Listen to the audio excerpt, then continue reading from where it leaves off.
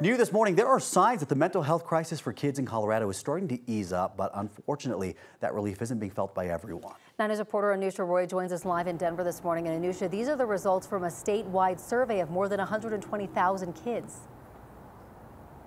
Yeah, it's pretty expansive from all across Colorado, and it's been so interesting to be following this issue for several years. We have, even on this show, talked about so many of these programs and these initiatives, and now we're starting to see some of the impact. So this, these numbers are from the Healthy Kids survey from Colorado Department of Health, and it shows that between 2021 and 2023, there was this 14% drop in the number of kids who were feeling sad and hopeless. There was also a drop in the number of kids considering suicide, and then a 1% drop in kids who had attempted suicide.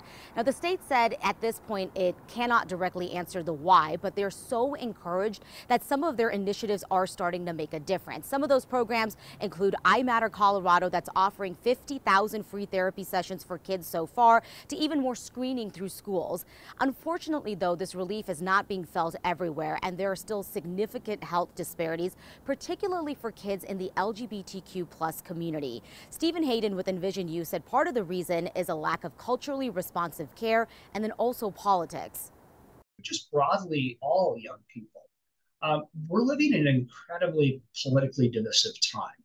And for LGBTQ youth, particularly trans youth, these individuals, young people who have uh, great promise in their life, have been demonized by political leaders uh, across this country. So right now, kids in the LGBTQ plus community are still considering suicide at three to four times higher rates. And with the start of the new school year, Hayden is really encouraging families to start paying attention to screen time, really start to look for things like cyberbullying. He's also making sure that people know about all of those resources like the programs we just mentioned.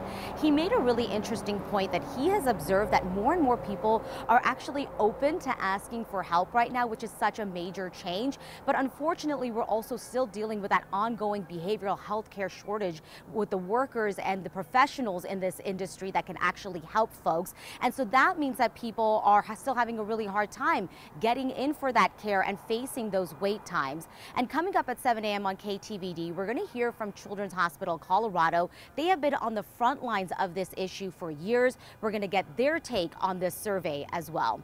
Reporting live in Denver, Anusha Roy, 9 News.